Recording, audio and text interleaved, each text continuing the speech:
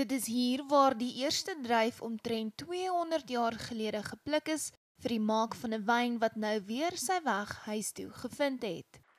En hier is sy, die Grand Constance wat in Frans Groot Constantia beteken.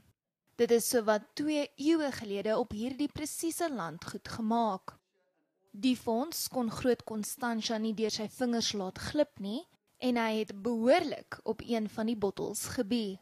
Ons het um, heel per toeval um, verneem dat daar is 'n um, veiling in Londen en ons wou dit ten alle koste hê en nou het ons dit. Want dit vertel die verhaal, die storie van Groot Constantia, van wyn, van erfenis, van geskiedenis, van kultuur, van samewerking met mekaar om kwaliteit produkte en dienste te lewer. Dis onder meer waaroor die bottel wyn gaan. Daar word geglo dat die Grand Constance Napoleon Bonaparte se voorkeurdrank was voor sy dood in 1821.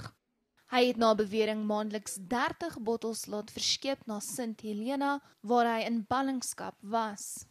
Die die vraag wat 'n mens vra is hoekom sou boere, Afrikaanse boere wat die naam Groot Constantia as handelsmerk het, dit vertaal in Frans?